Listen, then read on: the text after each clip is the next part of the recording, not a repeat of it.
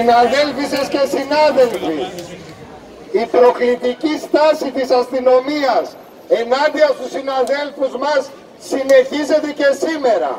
Πριν από λίγο αστυνομικές δυνάμεις, χωρίς καμία απολύτως αιτία, έπεσαν πάνω στους συναδέλφους μας μέσα στα δικαστήρια, έσκησαν το πουκάμισο ενός συναδέλφου, με την προκλητική τους στάση προσπαθούν να μας τρομοκρατήσουν. Δεν το έχουν καταλάβει. Και ακόμα μια φορά, το κίνημα δεν τρομοκρατείται. Συνεχίζουμε, κλιμακώνουμε τον αγώνα μας, δεν δεχόμαστε οι συνάδελφοί μας να κατηγορούνται επειδή δεν θέλουν το λιμάνι μας να γίνει ορμητήριο των ατοικών.